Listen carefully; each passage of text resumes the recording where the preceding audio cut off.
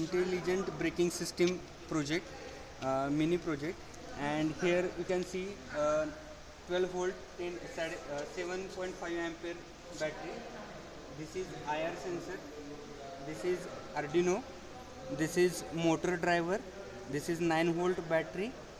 This is 12 volt uh, 10 ampere relay switch. This is wiper motor.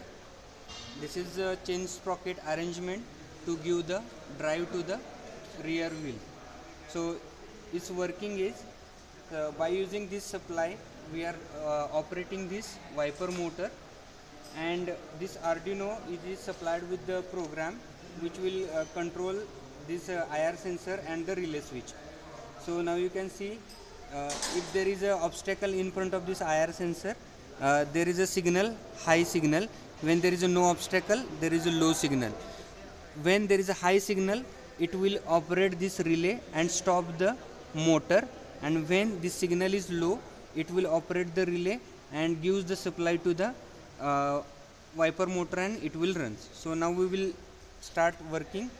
So i am giving this this is the positive supply this is the negative supply. I am just uh, giving the obstacle over here. And now there is an obstacle so this vehicle is in the stop condition. Now i will remove so it will start moving